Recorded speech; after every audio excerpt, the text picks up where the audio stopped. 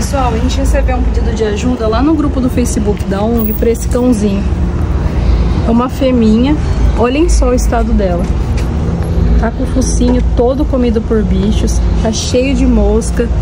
No corpinho inteiro tem ovinhos, né, de bicheira. Olhem só.